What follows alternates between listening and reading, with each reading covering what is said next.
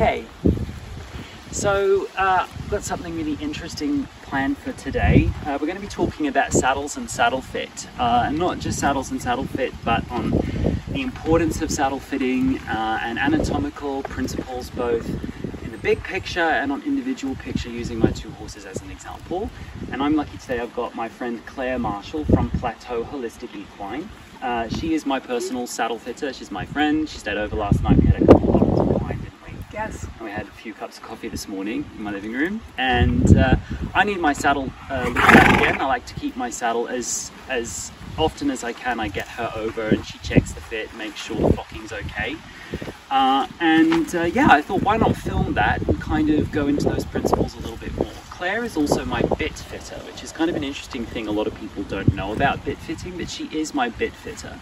Um, and if you watched the uh, the recent Zoom with Guided Voice, you will know that she did have blonde hair. It is now reddish brown. Yep. But at the time she had the, the bit fitted with Sanson about just over a year ago, she had blonde hair. So this is the blonde person Sani was talking to Shaylee about, if you remember that. Um, so I've got my two hungry hippos here. They're going to help us. But Claire, why don't you just kind of introduce yourself really quickly and tell us who you are and what you do? Okay, my name's Claire Marshall. Um, my company's called Plateau Holistic Equine. We um, look at saddle fitting. So I've been saddle fitting now for about 10 years. And it's developed really from just the very basic um, fit, uh, design, um, aspects of saddle fitting into a much bigger, much wider approach to the whole horse. The whole horse. The entire horse. So everything from the nose to the tail is taken into consideration. taken into consideration. And also rider, uh, what's called, um, you know, looking at the rider's anatomy. So we're looking at the biomechanics, the anatomy of the horse, but also the biomechanics of the rider as well. Because any saddle fit is 50% for the horse and 50% for the rider. We, do, we have re- various compromises we can make, but at the end of the day, we need to make sure that everything is fits, that the kind of jigsaw puzzle fits together in terms of the rider comfort and the horse comfort. So there That's what I really liked in talking with you is that when you came out to do the initial fitting, you said it really is 50% the horse, 50% the rider.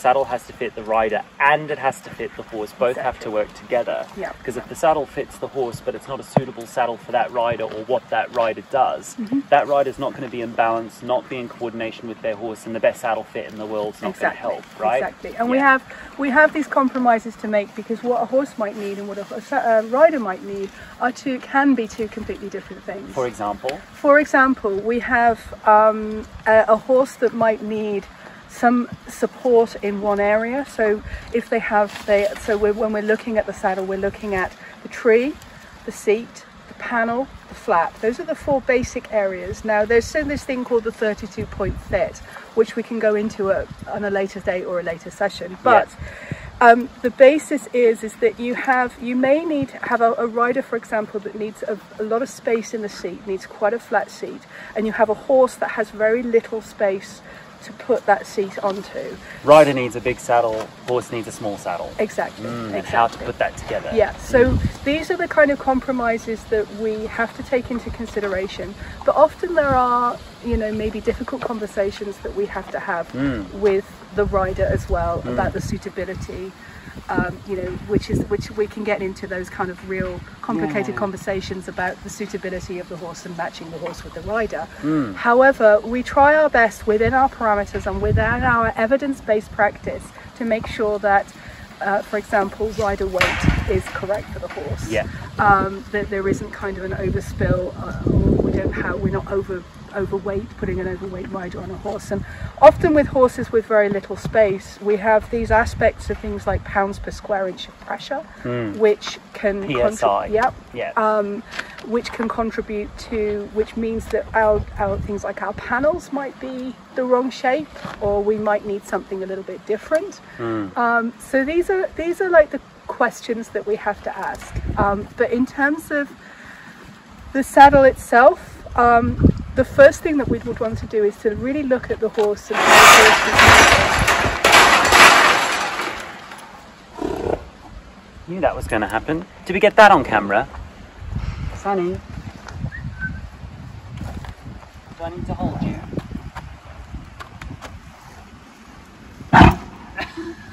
Ooh, very funny. Never seen you do that before, mate. If he thinks there's nothing wanted of him, he's like, why am I tied up? That's why I had you on the breakaway. Let me just hold him, shall I?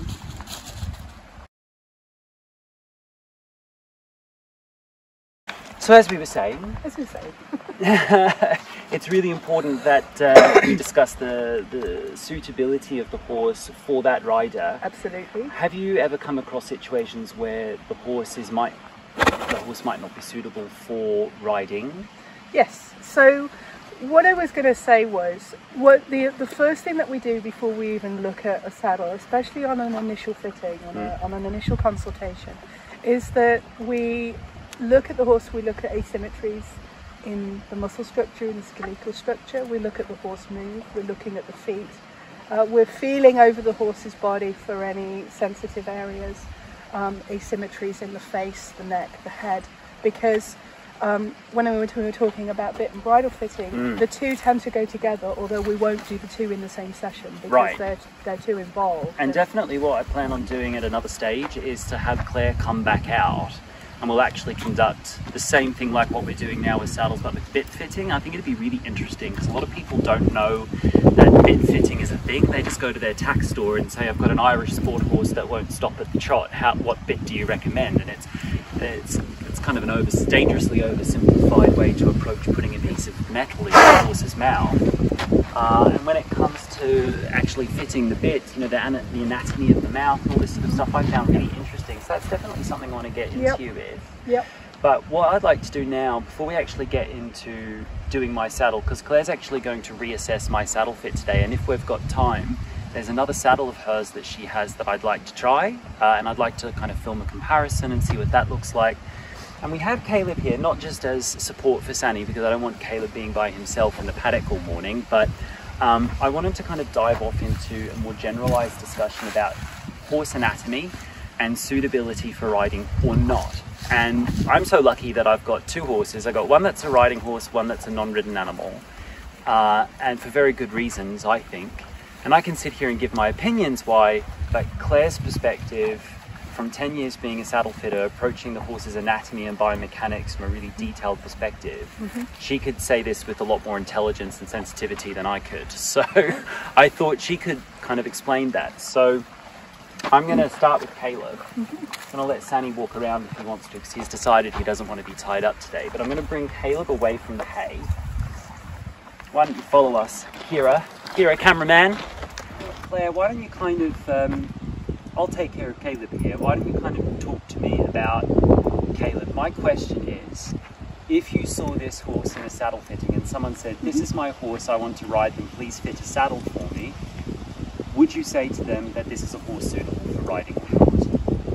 Okay, so we're today we've got two very different horses that we are going to look at and make some basic observations for saddle fitting on their anatomical structure and those implications for the biomechanical movement of the horse and what kind of limitations that movement might exacerbate in a ridden environment.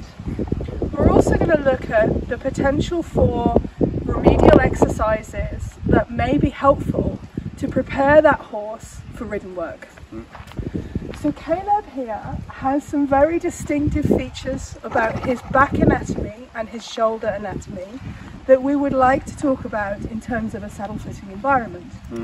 When we're looking at his shoulder, I'm just going to move over this direction, we can see he has, well, I'm going to just kind of mark out here, um, I can just kind of draw a line onto where his basic anatomical structures are.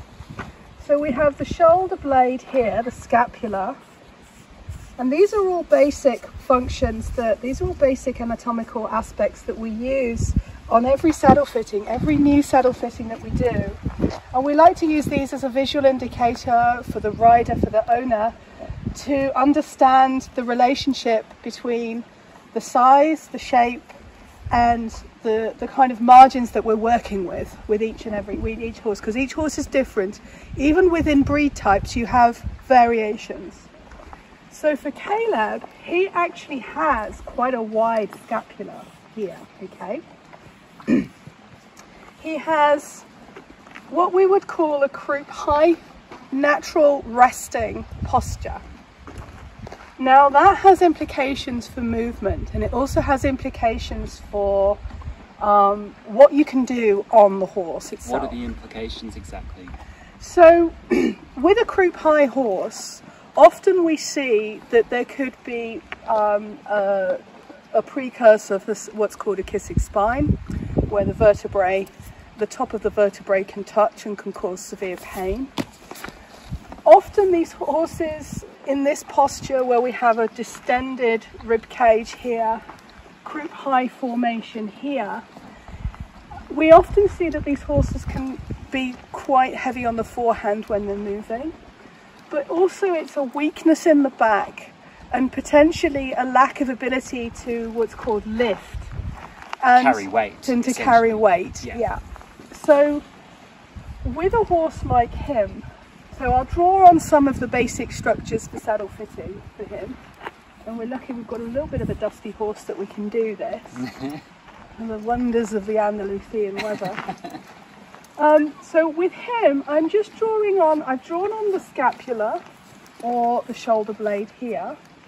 I'm drawing on the what's called the trapezius muscle here. Now the trapezius muscle is important because it is a part of here which intersects with the part of the saddle. So if we're looking at treed saddles, it's a part of the saddle which sits over here and it can, but it also has um, direct relationship with the mobility of this part of the horse. And this part of the horse is your direct contact with your seat, mm. okay? So we have a muscle that sits something like this, it's like an upside down triangle, and it's split into two sections, okay? We then have um, a muscle that sits down the back, which runs all the way down here. And this is our main saddle support area. The longissimus, okay? right? Yeah, so this is called the longissimus dorsi. Um, it, it's not really a name you need to remember, but it's just a visualization approach to understand that this is our direct interface with the horse, okay? Now, every horse has a slightly different, some have a wider one, some have a narrower one, and that will then dictate the panel that we might use on the horse as well. But we have to establish how much width we have in the spine, and then also how much length we have, most importantly how much length we have for a panel to sit on the horse. Now with Caleb's posture, his resting posture is his shoulder blade is lower than his croup rump. So okay? this would be like my, my first reaction to that would be that a saddle's going to be thrown onto the shoulder yep. of his body and even with heavily corrective paneling and padding, mm-hmm. the saddle's going to be thrown onto this part of his body, creating a lot of pressure and a yep. lot of heaviness in a place that's already quite heavy. And as I know from taking care of his feet for the last two years, uh, he's got moderate to severe mediolateral imbalance in his feet as well, and a bony column disalignment all the way down through his, his leg, through his distal limb. So that plus this problem for me as a professional who's interested in riding a horse selflessly and ethically, I have ridden him. Uh, and behaviorally, I've ridden him with nothing on him, and he's happy for that. But after 10 minutes, he's just going, ouch, ouch, ouch. So for me, I'd look at a horse like this and I'd say I'm, I'm probably not going to ride him. And considering he's almost 20, now if you've got like a four-year-old horse with this sort of croup high, downhill, distended belly, at that young age, you've got a little bit more room to do corrective exercises, to change the soft tissue, uh, and then if you intervene with the foot at an early enough age, you can correct some of the bony column issue. But at his age, a lot of things are kind of set in stone. Mm-hmm. Would you ride this horse? I wouldn't ride this horse. Yeah. Okay. Some people might. Yeah, so what we often get people who send us photographs of their horse, so we always ask for video and photo before we, we even entertain a saddle fitting. And to, to honestly save the time and money, if I saw a horse like this, I would be pointing them in the direction of some basic, very basic, low level, low impact um, remedial exercises on the ground. So, for example, the use of stretching, the okay, use buddy. of um, Caleb's having a moment, everyone. He's a little bit worried. You're all right, buddy. Caleb. You're all right, buddy. You're all right. And what we would be doing is we would be looking to encourage the lifting of the what we call the thoracic sling. So if you think about the column, the, the spinal column of the horse, you have your cervical vertebrae which are in the neck, you have your thoracic vertebrae which form part of the rib cage, you have your lumbar vertebrae which sit just behind the rib cage, and then you have your sacral um, vertebrae which go all the way down to the dock and, and the tail. Um, with a horse like him, as Lockie said, we if if if we had a vet, uh, if we worked with a vet with a horse like this, who said the vet said that we would, they really need to em- employ some very low level ridden work to take weight. We would have to use a very specialist saddle which had the correct width of panel, but also a shortened panel which sits underneath the tree, which is the rigid part of the saddle, underneath the tree, so that the panel doesn't go any further than that 18th rib. And the 18th rib is the 18th thoracic rib is the limit at which you can put weight on the horse's back. In his case, if you had something that went beyond that, you are, like Lockie said, you would be risking the saddle being moved forward as the lumbar area of the horse, especially in the trot and the canter, comes up. You would be that would be moving forwards. Painful. So, and it's painful. Um, it stops the shoulder from correctly rotating because the the shoulder blade rotates backwards. So this is where we get into the question of what size saddle, what size seat would I should is the correct one for my horse, and how does that then relate to how I'm riding and my size and my um, most comfortable ridden posture. So with him, I would be referring him to a good groundwork trainer, a good gymnastic trainer that is ethical, that is kind, that can work quietly with the horse to teach them how to engage the rib cage a bit more. Now I am going to see if Caleb will lift because one of the one of the things that we do do at a saddle fitting is we look at how much upward mobility the rib cage has. So I'm going to see if he'll allow me to do that and see if he does have lift in the rib cage. So all I'm going to do when I'm doing this, and a physio might have in the past asked you to do this, uh, what are called tummy lifts or belly lifts to help get that mobility into the rib cage to prep the horse for riding. So what I'm going to do is I'm going to take my hand and I'm going to look for the edge of the ascending pectoral muscle here, which kind of runs down here, this part here. And then I'm going to just scratch under there and see if he will give me some lift. Now he, he really, he's quite an averse reaction to that. He finds that really, really difficult. And so if I had that response from one of my fittings, I would then refer on to a vet, a physio, and a remedial trainer. And you'd be recommending not to ride. And I would be recommending not to ride your horse at this point. So I don't know if you know this, Claire, but in the summer, I've talked about it on the video library before. But in the summertime, I had his sheath cleaned with my vet, and he was uh, uh, sedated for that. And in, in exploring his sheath, we discovered that he has a tumor, benign tumor, inside his sheath.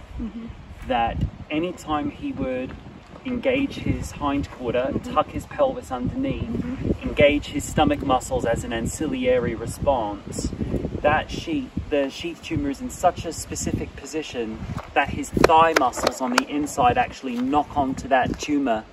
And he- when the vet was touching the tumor, um, even underneath the, the sedation, mm-hmm. he was very uncomfortable and trying to kick. So, for this horse, it's so unique that collection is actually a pain button Yep. for him. Mm-hmm. So if he didn't have that sheath tumor and he was younger, there's so much we can do on the ground to rehabilitate the way he uses his body. But putting all of that together, we'd kind of say ethical riding of this animal is almost almost impossible. Yeah, mm-hmm. in this in this instance, because we know his history, we know pretty much 95% we know what is causing that lack of ability to engage the muscles that are really essential for riding your horse. And so, what kind of behavioural problems could a horse display if you're trying to ride an animal and you're having behavioural problems at home, mm-hmm. and you may or may not know if they're tied into their anatomical predisposition to be successfully ridden? Mm-hmm. What sort of behavioural problems would you come up against? So you would come that anything ranging from the very subtle, so um, facial expressions. There is an ethogram that um, the the Sue Dyson's ethogram on facial expressions uh, in comfort in the horse. It's something you can look up, and it's it's freely available, and it's a really useful tool.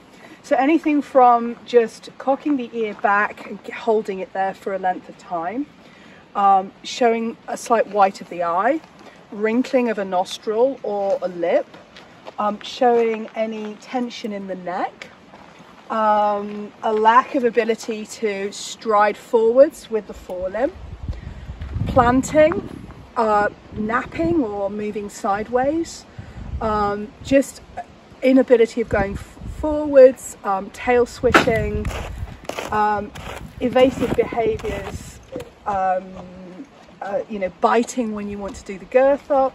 Um, get that, but that could be uh, an indication of a whole host of things going on. Um, adverse reactions um, in terms of not wanting to be mounted, not standing still at a mountain block. what about nervousness when they are being ridden? Yeah, so so Or those dominance displays, quote, dominance displays when being ridden? So this is where we go back to the facial expressions, and those are symptoms of those nervous uh, responses, if you like. Um, And he's a pretty expressive horse. I mean, we're filming him, and you can kind of see uh, a host of thoughts and feelings running through his brain because his face is so open, and he's, you know, looking at me for treats, but he's also confused about what's happening to him in this moment. You know, he's a pretty expressive horse, so in that sense, you're lucky because he will always tell you what's going on. Some horses, they might become incredibly shut down and dull, heavy to the leg, not moving forward, um, general stiffness, blah blah blah. so those are the horses that are a lot more difficult to unpack and unpick in terms of saddle fitting because we can only deal with one thing at a time with a horse. The horse can only deal with one stimulus at, at, at a time. at a time to be able to give us an indicator of where they're uncomfortable. Um, they have an enlarged amygdala. They don't have um, fully, you know, the, the same development in, in in Prefrontal pre- cortex. prefrontal cortex, frontal lobes as the human brain.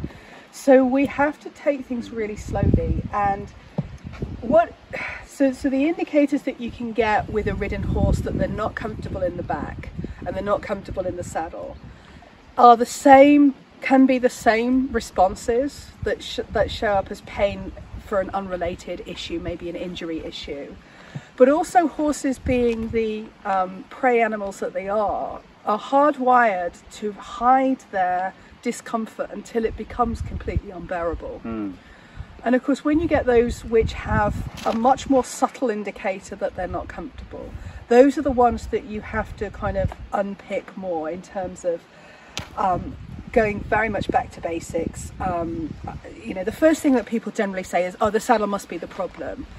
And you can have a session where you change the saddle three or four times and you know the saddles. There are, there are slightly different aspects of the saddle that might be good for the horse, and, but you know that every time this horse is displaying a behaviour that is not you know that, that is it's, it's, it's discom- uncomfortable and that's really when you have to say look i don't think it's the saddle that's causing this i think you really need to speak to Someone else. someone else Barrier, Yeah, vet, barrier vet something. body worker Okay. behavioral therapist etc That was really interesting because I've, I've spoken before when I'm working with Caleb. I've said many times, almost every time Caleb appears on my video library, I always say, Look, let's look at his anatomy, we can see, etc. But it's so great to have a saddle fitting professional, biomechanics professional to explain it in more detail. So, what we're going to do now, Claire, if that's all right with you, we're going to let him go.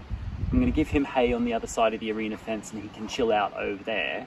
We're going to bring Sani in and then we're going to talk about sort of Sani's body type, not necessarily so much as an individual, but more the archetype of suitability for riding with him as, as a juxtaposition to Caleb. Cool? okay yeah i just want to make i just want to kind of add to that that Yeah. this is the very very basic this is an incredibly basic um, Overview. points that we're, we're talking about there is Yeah. a whole multitude of other things that are going on with this horse that really we o- offer another session i think. Um, we're just looking at the very very basic aspect of is this horse suitable for riding? Is this horse not suitable for riding? And taking a, a kind of self-reflective and critical analysis view of whether we ethically should and we shouldn't. But there are lots of other things that we can talk about and that we can unpack in a later session with him as well. Yeah.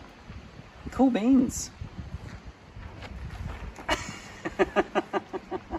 you can smell. he, he knows he's on camera He knows he's on camera and I've got the alfalfa pellets, so I'm just going to do nothing. okay Go ahead, hold Right. court. So, Sani is a Hispano Breton. Um, he is a very different conformation to Caleb. And this is really to give you an idea of the different conformational um, aspects of the horse that we have, which which inform saddle fit. Um, he is uh, ridden horse. He has, um, in terms of his basic and anatomical structures, he has quite an upright shoulder blade. He has a moderately high wither. He has a very much flatter profile in the spine than Caleb does. He has a very strong, powerful, and um, uh, shallow sloping croup. Uh, he has a good second thigh. He, in terms of his structures, he has an even longer, wider, sorry, um, uh, scapula or shoulder blade Dan Caleb. than Caleb does. Um, and this is partially be down to uh, the part of his breeding is a draft horse, but a draft horse that isn't necessarily particularly wide. Now, draft horses, we, we fit a lot of horses that are very wide and very short.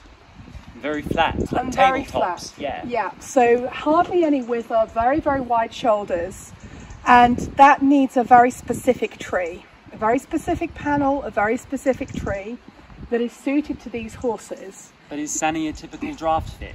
So no, Sani is actually um, more like the fit of a Spanish horse. Um, he is part Spanish, part draft. So he is deceptive. The fitting of Sani, he actually is only what we would, in a typical English saddlery term, call a medium wide fitting. So a medium wide fitting can, you know, we can thoroughbred Spanish horses, warm bloods, um, some American saddle horses.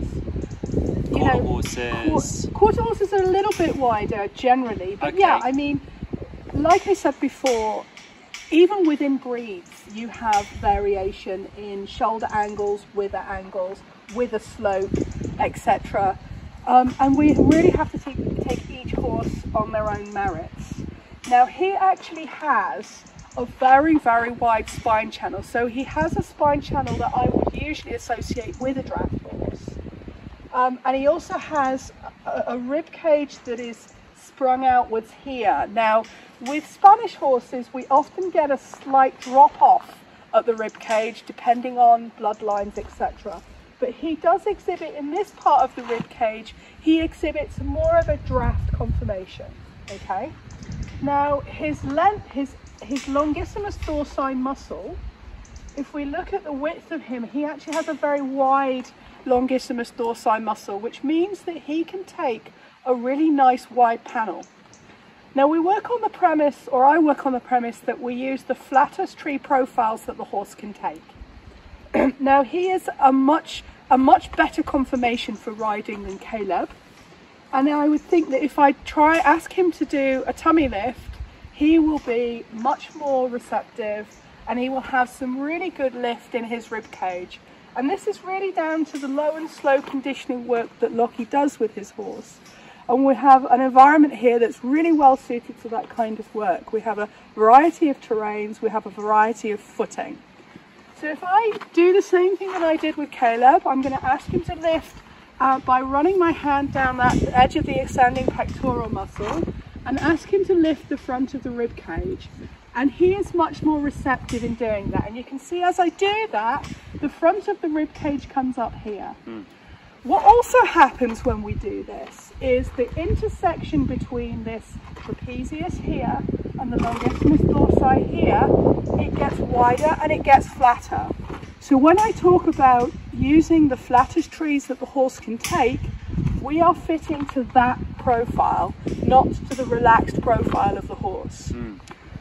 engaged profile engaged like they were profile. moving. Exactly. So right. what we want to do is we want to make sure that the profile of the tree, so that's the underside of the tree where the panels support, they are flat enough. Um, and that the horse can do this lifting, can perform this lifting movement correctly because that lifting movement is essential to create the right kind of stretching here and here so that they can carry weight of a exactly. rider responsibly exactly. and ethically. Exactly. Right. Yes. So if you didn't know Sani, and if you didn't know he was um, he was a ridden animal, and someone presented this body to you, mm -hmm. and they said, Claire, in your professional opinion, is this horse suitable for riding purposes? What would you say?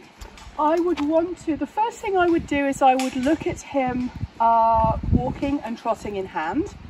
I would look at his footfall. I would look at any observations about any shortcomings in the limbs. Um, I would ask him to lift. I would feel down the back. I would feel down the croup.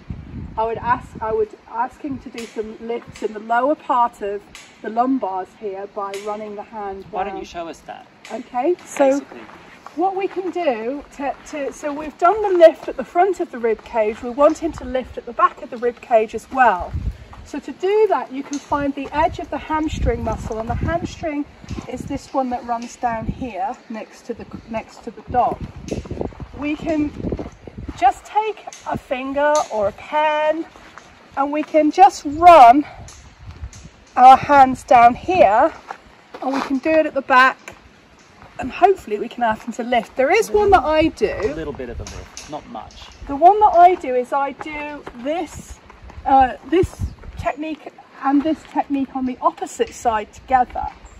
So I'll, I'll try it on, I'm short, so bear with me. um, I'm going to do it on the left side of his rump and I'm going to do it on the right side of the rib cage and see if this works. Yeah, wow. So you can see now how much he lifts. Bridges. And li lifts into almost a roach um, formation in the lower spine, in the lumbar area. I like to see how much of that they have and that will dictate how I might flock a saddle because often... And flocking is... And the flocking is the stuffing of the wool inside the panel. Right, okay. Okay. So stuffing, padding, pillows, depending on where you are in the world, there's a slightly different terminology for it um, that will dictate how I will stuff the saddle because what we don't want to do is we don't want to just stuff it the same all the way through. Depending on the working posture of the horse, we might flock a graded flocking, so that means we might put it softer in the front and a little bit more support in the back.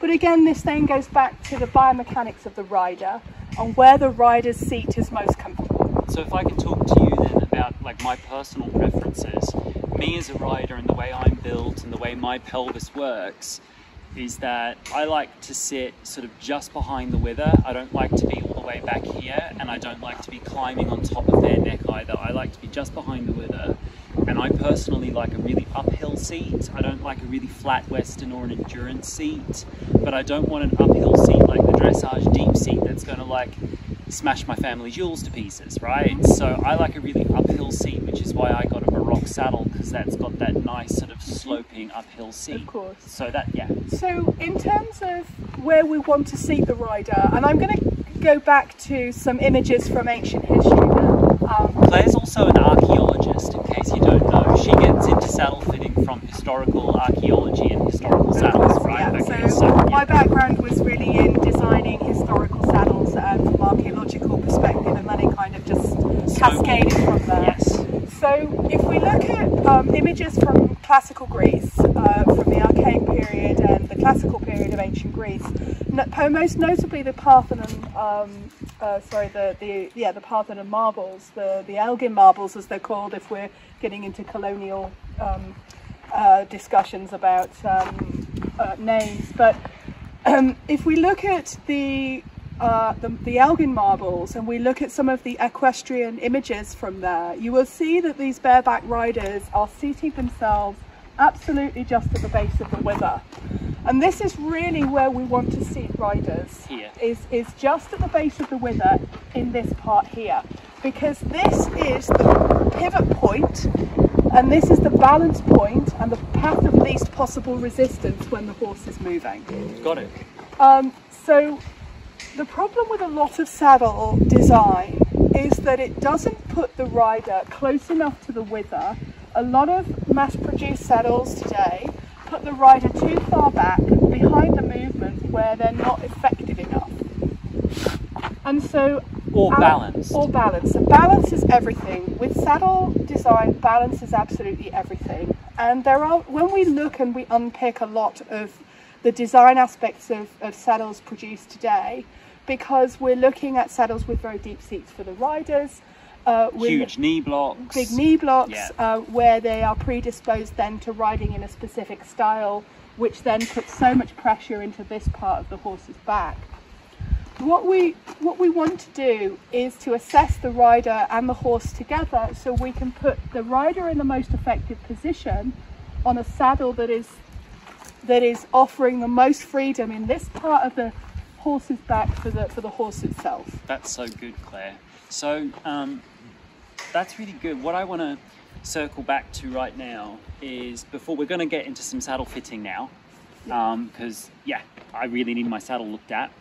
Um, I think no one watching this video doesn't need to be told how important having a good saddle fit is if uh, you are interested in riding. You know, I've got a ridden and a non ridden horse. I love them both, right? So if you're not riding your horse, there's no shame in that, yeah? Yeah. But um, just in case someone is like, oh, you know, I can just buy a saddle off Amazon and it says it's for a full quarter horse bars, so I've got a quarter horse, or it says it's great for draft horse, it says it's a warm blood saddle, I've got a warm blood.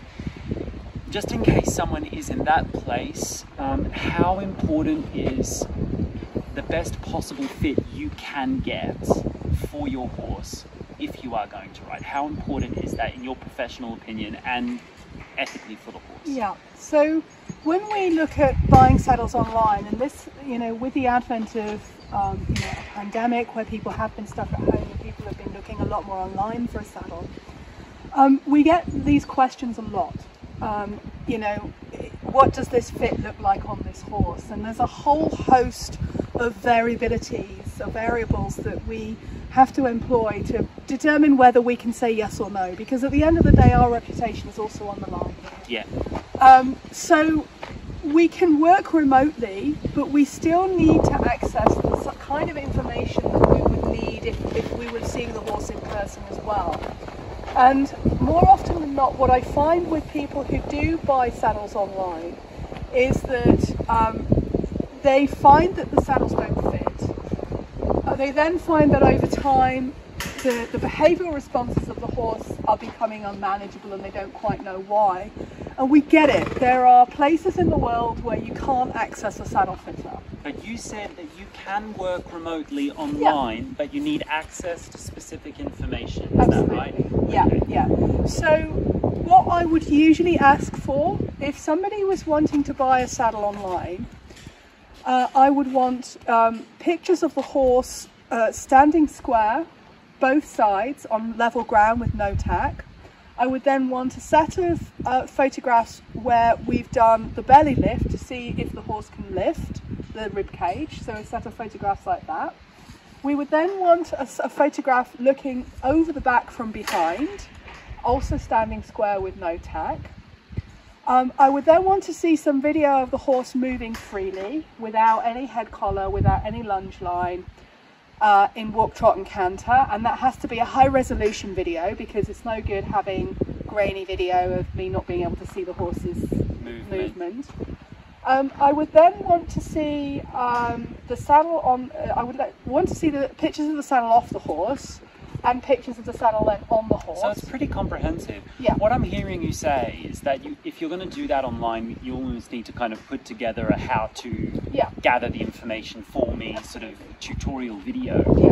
And what I'm hearing you say is that if you're interested in riding your horse and you're interested in the horse doing that comfortably uh, with the minimum of behavioral barriers and problems, um, with the minimum of damage possible to the animal, working with a saddle fitter, whether in person or online, is kind of like a non-negotiable yeah, if you're going to ride. Yeah.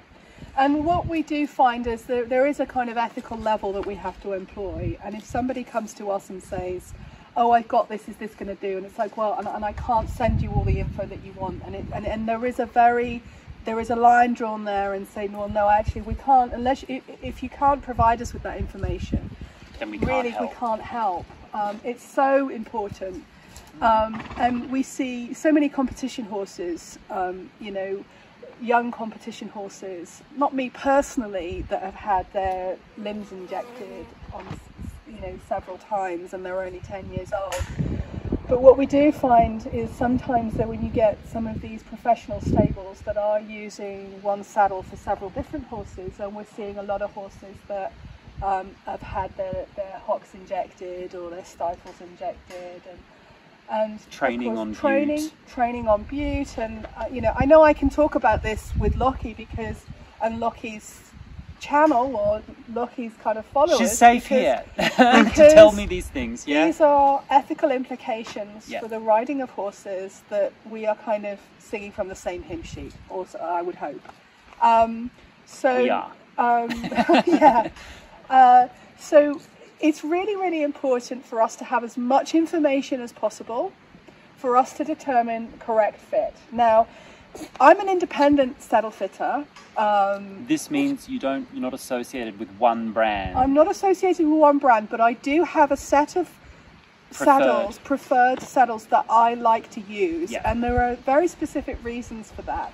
So I couldn't just say to somebody if they came to me online and said, "Oh, this saddle, I, I've just, I think it, it, I find it really comfortable. I think it's a good fit," and I, and I don't know the brand. I can't honestly cast an opinion because I don't know what tree it is, how the tree is made, the design of the rails, the angle of the rails um, the, the panels, do, does this company have a tendency to, to stitch in panels at an angle where you have to make some remedial uh, steps to, to, to, to, rectify the problem? So, so there are those things as well. So generally I have my go-to saddles and after 10 years of doing this and working with various companies, this is, I feel very comfortable where I am now with the saddles that I use because I feel that there is kind of something for everyone within that range. But I will be very honest about my own limitations.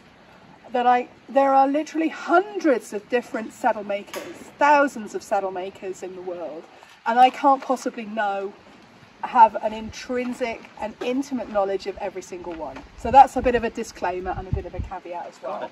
So what I suggest we do now is we look at the saddle that I've got for him at the moment, um, and we just kind of have a look at it on its own, and then pop it on him, and kind of go through, go through that. Yeah. So So this is my saddle. This is Lockie's saddle. It is a Deuber and Partner, a DP saddle. I bought this secondhand from a lovely lady in Switzerland who was getting out of horses and she had used it, I think, for one or two years very infrequently, so it hadn't had a lot of use in it. It's a 2012 model. It's called a Desmond O'Brien Baroque Schuler saddle, whatever that means. It's a discontinued model from DP. Uh, much, much older DP saddles, I believe, don't have the adjustable head plate at the front, but this is mm-hmm. one of the models that the front of the saddle you can insert an Allen key and it would open and close. And this mm-hmm. is much of the the reason why I wanted a DP because I like that adjustability if you've got a horse that changes shape quite frequently. Mm-hmm. Um, so I didn't buy it from Claire, I bought it from this lady, but Claire has done what four, five fittings yeah, with this there's saddle. quite a few that we've yeah, done with this one. So yeah, So with this saddle, um, it's a Baroque style. It's based on um, some of the 18th century schooling um, saddles from um, the German and French schools. Um, but it also employs, um, because Deuber initially were known for their Western saddles. So some of the design aspects of Deuber's Baroque saddles also employ um, some of the principles of the Western seat um, namely the actual profile itself as you can see here it has a flat part here and then it has a, um, a with a, an, an uphill piece here partly because the um, allen key goes in here and this is where the mechanism is housed um, for the allen key okay? And what that does is when you twist it it opens and closes here now one of the really nice aspects of Deuber saddles and this is a, a saddle the Deuber saddles are a, a saddle that I fitted now um, since about 2014 and they have a very open head open what does that mean? so an open head, as we can see the profile here, it's more of a U shape, okay? You have saddles that are very V shaped. So if you look at comparisons between, for example, some older English saddles or a vaquero saddle, a Spanish type saddle, they have like a kind of fork shape at the top, um, which is very closed.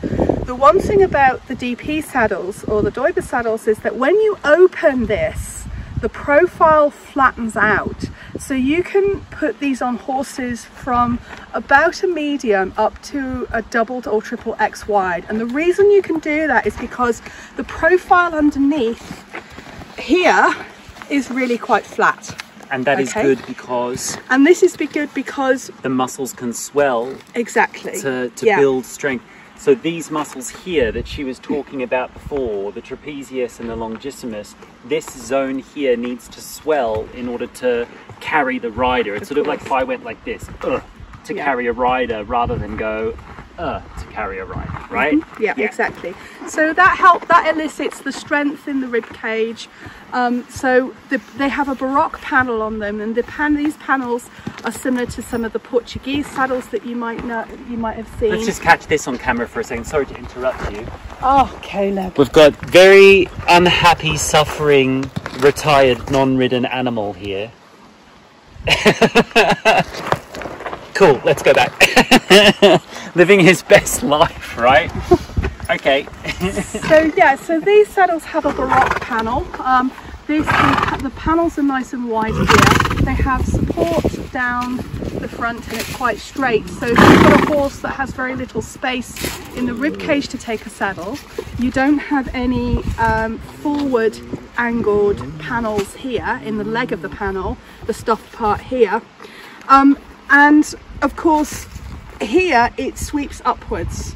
So we don't get any weight bearing part of the saddle here, but what we do have is a good stability aspect um, on the horse's back. And actually, it might look like compared to some English saddles that it's bulky, but actually, it's a very neat um, Close saddle, contact. close contact saddle. So the tree is made out of, this is a plastic molded tree and it's very flat. It's like this yeah, thin all yeah. over. It's it's it's quite a discreet tree. It's called the Ultraflex tree, and it's kind of if we look at the shape of the seat here, the tree kind of follows the shape of this seat, but it's also got an element, a small element of flex longitudinally as well. So this part does kind of mold a little bit in the seat. Mildly flexible, but not so much that, you know, we're going to you will get get pressure, pressure points. points. Exactly, exactly.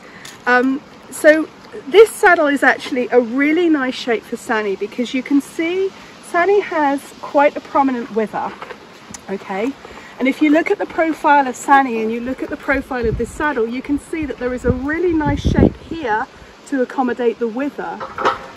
But unlike some English saddles that have a high wither design, it also is flat under here. Because we can go into, uh, I'll go into a little bit more about the English saddle tree shape and why deep-seated English saddles can often be problematic. Um, but we can employ a deep seat here while still maintaining a flat profile here for the horse by the addition of these galleries. And that's what they're called, the, the front and rear galleries. Right, um, why don't we put it on. Sani and kind of see what it's looking like. Okay. Last time Claire fitted this was sort of at the end of the spring, so we're in late January now. So that was let's six, seven months ago, and I would say I've ridden it lightly to moderately since then. Um, I love this saddle, but I'm not like 100% happy with its fit in this moment because the flocking is natural wool fiber and the flocking can compress, it can move throughout the panel because of the movement of the horse. And Sani's got a lot of movement and he's kind of hypermobile, both the way he moves his legs this way and the way he uses his spine this way. So that can kind of move the flocking around so much. And that's why, for me, I like to have her check it whenever she's in the country because she works between UK and, and Spain as well. So I like to have her check it, especially if I'm sort of get, getting into more riding at any one time. So why don't you talk to me about what you're seeing? Sani, it's fine. It's fine. So um, Sani's saddle, we, we make kind of small adjustments with it when when we do a refit. Um, so with him, what I did is I put more support into the front here. So we have slightly softer flocking here and, and a slightly firmer flocking here. The reason for that is, is that Sani's wither is very steep. And with U-shaped heads or with open heads, what you can often get is you can get a dropping down which tends to tip this up a little bit and put the rider into this position here. Yeah, and that has happened to me on this Yeah. saddle. Yeah. So what we want to make sure is that the seat of the rider is between here and here. Now this is very different to an English saddle and you might think, well, oh, it's too far back. But these saddles work in a slightly different way. So we need to make sure that the weight is off here for, and that the, the, the rider's balance over all terrains is firmly in this part of the seat. So if we can see here that this is the part that's, that's parallel to the horse's back. And if we ask him to lift, we want to make sure that's still staying parallel to the horse's back. Okay. So what happens with these saddles because they're flocked with a a, a, a soft grey-brown wool? Um, there are various different grades of flocking that we can use for various different jobs, and it depends on the kind of job that the person's doing uh, and to how long they can actually go between maintenance fits. Um, but with him, what we would do, and we know that we need to fit it with one of these two pads that we have here. So we have a DP felt, and we also have a Kreislam felt um, sheepskin uh, lined.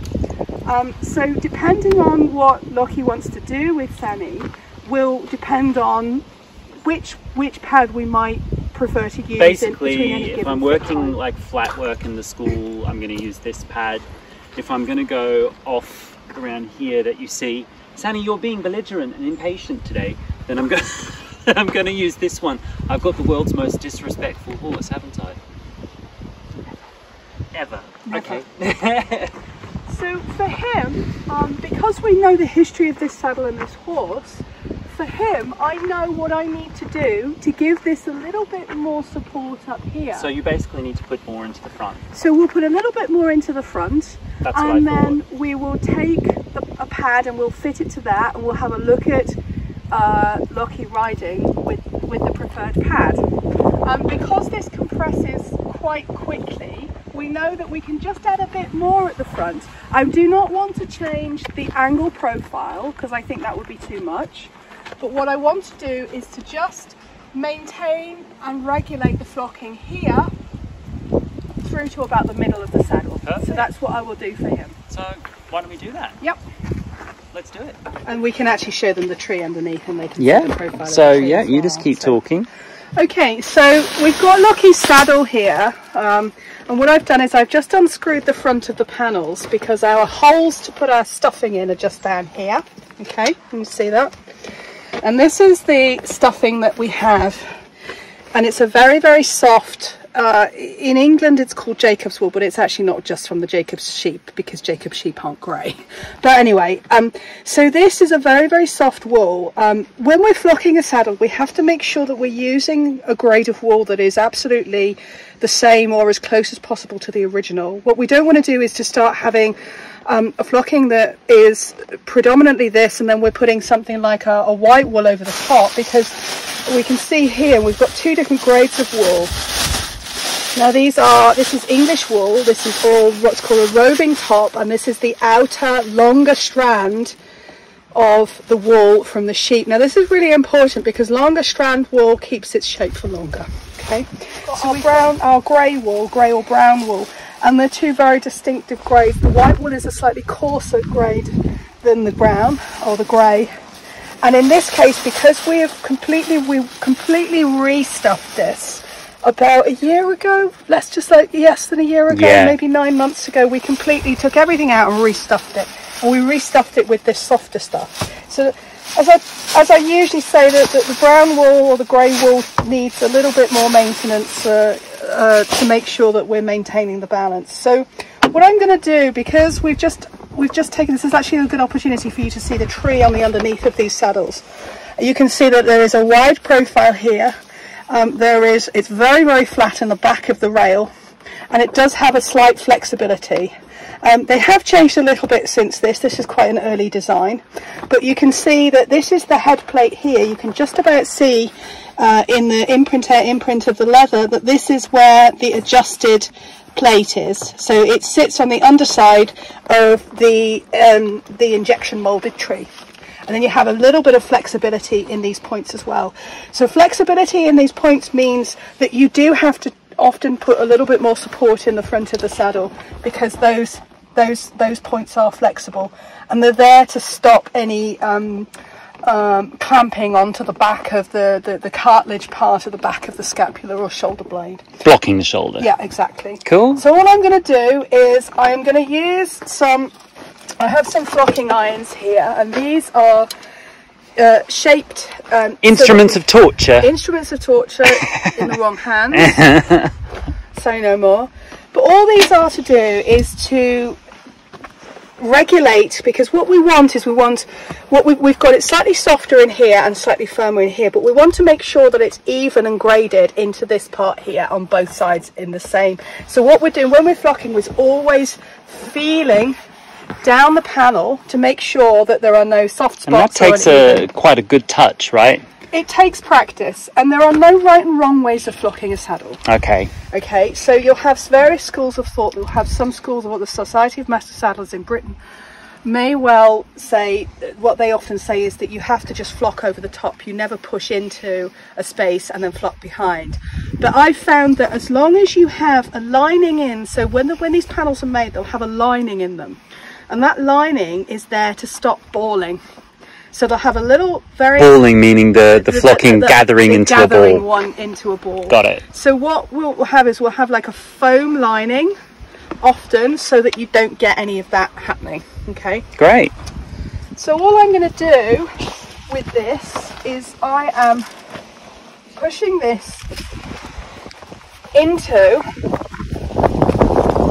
into the leg and pushing it down and then I'm going to add flocking into the hole and into the back of it. Now really I should have this on a, on a, on a surface but we... We're doing the best we can in rural yeah. Spain in the back of a car. Yeah, but this actually, you know, something like this vehicle is really good for yes. having it at the right height so you can um, you can work and and constantly look because all you're, you're, doing is you're feeling and looking all the time. So i'm just going to do it. I'm going to let this video run. I won't say any more but you'll you'll be able to understand um, the process when i'm uh, so it's a kind of uh, action observation action observation. Got it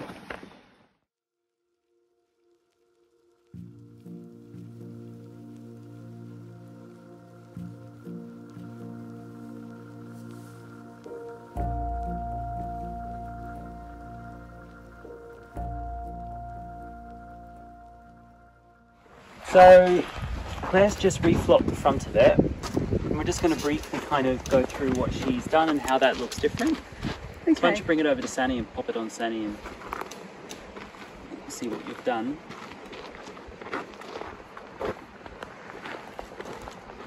So as you saw, Claire took it all apart. She put more flocking in the front of the panels. And then we put the stirrups back on. Uh, the width at the front, she didn't have to adjust. The width was appropriate. So what we've got, come around this side. What we've now got is something which is sitting a little bit up, more up at the front. It's offering a little bit more support. So this negates the possibility that we get a tipping at this point here, like this. Saddle going forward, yeah. So what the stability then will keep the rider into this part of the saddle which sits parallel to his back. Okay, so I'm happy now that that has um, an evenness and a regulation where we can go ahead and put the pad on. So we're fitting it to the pad, not to the horse like this. So we have to flock it according to how much additional pad that we've got underneath. That So- so much better. We'll pop, we'll pop the pad on Yep. and then we'll have just have a, a brief look uh, on board. Yep, Happy with that? yep, Alright, girth. yep. Why don't you tell them tell them a little bit about this weird girth? So this is a girth that I've been using for about a year. It's called the Scharf, uh, designed by a lady called Christina Scharf in Denmark. And it's the Scharf Freedom Girth. And this is a girth which we've been using on horses that are sensitive, that need some um, extra support here, but also the flexibility of having something that moves with each muscle group. So it sits on the intercostals, which are these under here, and then it's supported on part of the ascending pectoral, which is here. Now we fit these a little bit longer than like a standard girth, but as you can see, it has movement variability here. It is strengthened on the inside here with a type of um, marine nylon that's been rated to a thousand kilos of pressure. And we have um, independent moving elastic um, here with a padding that sits under the buckles. And what we found on horses that really like this kind of girth is that we're helping with increased stride length. And of course, there's a there, you can have them as a dressage girth, a jumping girth, cross country girth, Western, Icelandic, and also now there are some new ones which uh, are with for horses that have a very very forward girth groove as well. So it's a slightly more anatomical shape. But we're finding that uh, certainly Lockie's feedback with this girth was that Sani um, feels Increased like stride his, length. his, his, his increasing his stride length as well. Right, why don't you attach it on that side? I knew this girth was different when I bought it and it came with instructions like how to put it on properly that you don't do it up to max on one side and then wrench it up to max on the other because yeah. you're pulling the muscles off to one side if you do that and it wanted it actually instructed you to attach it incrementally so that you know each side of the girth is attaching in like even levels of pressure without like pulling muscles off Yep. to one side The only way you can adjust these is by doing them incrementally on both sides. Yeah. What do you think about elasticated girths that are elasticated on one side? So the problems that we have, and we see this a lot with saddle fitting, is um, manufacturers are still making girths that have elastic on one side. Problems there being is you have, for example, a, uh, a wooden tree, and still a lot of English saddles and a lot of Baroque saddles are still made with um, birch ply composite wooden trees. You can find that there could be a, uh, it can elicit a twisting over time in the saddle tree, and then of course the problems that arise with that is that you have to replace it at a lot of a, a, like a big, quite a big expense. Um, also, it causes instability, and of course, when the elastic stretches, uh, you cause instability, um, lateral instability in the saddle as well. So we try and avoid it at all costs, and it's something that it's one of the first things that I talk about when I'm examining a new client's girth as well, because girthing is just as important as the fit for the horse and the fit for the rider. Saddle felt yesterday before the fresh fit. blah blah blah.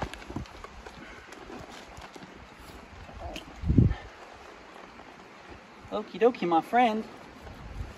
Oh my goodness. So you know how I say I like an uphill seat? I'm now no longer having to like adjust the saddle. I just feel like my pelvis is just sat where I like it. Mhm. Okay. And I've got the support at the front, but I can feel the cantle at the back. And I'm not having to brace anywhere just to sit nice and aligned. I'm not the world's perfect rider, but I'm certainly comfortable enough for Sani's purposes. Okay, so what we've done now, um, when we're fitting a saddle, we can't just do a static fit. Um, we have to see the rider uh, riding to gauge any improvements, any good or bad changes. Um, so what we've done here is we've we've flocked up the front. Now you will look at this saddle and you will think, oh well, the front actually looks quite high.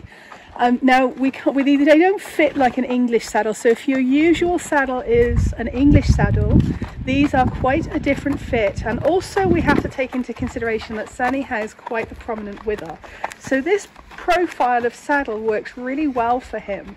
Um, because what it's doing is it's putting the rider into the part of the seat that we want.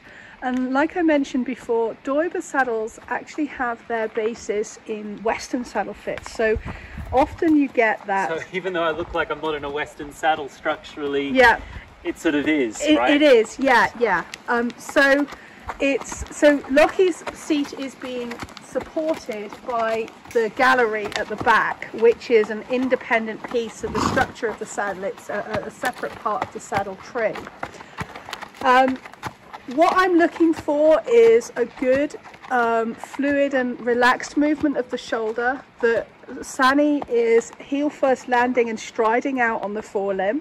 That he feels like he's got a fairly relaxed neck. What we'd want to do is because he's been stood around waiting for us to finish talking, um, we need to give him a few minutes of just adjustment time so that he feels like he can um, move his body and warm up a little bit before we then start talking about feedback on the saddle fit itself. So we can see straight away that his shoulder, I mean his uh, his shoulder is uh, nice and loose. What we're looking for, the, the muscle on the top of the neck is nice and relaxed uh, and that he is willing to go forward that the saddle itself is staying stable, that there is lateral stability, that's the side to side stability in the saddle. Um, we want to make sure that our rider is absolutely where they need to be, that the shoulder hip heel alignment is correct, that they're not feeling like they're having to guard their pelvis, um, that they can sit in a neutral pelvis and be as effective as possible in the seat to perform all of these movements. And um, that the, the, the saddle doesn't tip. So what we do is we'll look at the saddle before and after the session. Um, Lockie is now um, doing a little bit of lateral work with Sally. Oh, sort of, ish, laterally ish. And he's also gravitating towards his new friends over here. Hi, So just tell me, Lockie, how this feels compared Uh, to. so, when I rode the saddle yesterday and in the subsequent weeks, I did feel like I had to bring my thigh, sort of rotate my thigh in like this onto the front, almost to kind of stabilize it here and here, because it did feel like there wasn't enough support in the front. And especially if we went down like a slight downhill, I felt this that kind you of were going on. hollowing the back and that you're being pushed onto the pubic symphysis. Yeah, and so and then it was starting to be slightly unstable, like towards the back as well. Mm-hmm. And now I'm feeling like I can sit center of my my saddle, and I don't have to roll my thigh in. Mm-hmm. I can if I want to for a certain movement purpose. Mm-hmm. But I can just kind of sit where I like to sit, which is actually a slightly everted toe. Mm-hmm. I like to have that slightly open toe. I don't like to do, you know, this situation um, I can just kind of sit open with my thigh here, not be blocking him with my knees, and I feel like the saddle's holding itself at the front. Okay. And so for me, that's already exactly what I wanted from today. Yep. Um, yeah, happy with that. Good. Thanks so much, Claire. You're welcome. Pleasure. We're gonna. No, are we done? He says we're done. Are we done? Yeah, good boy. We're done. Oh.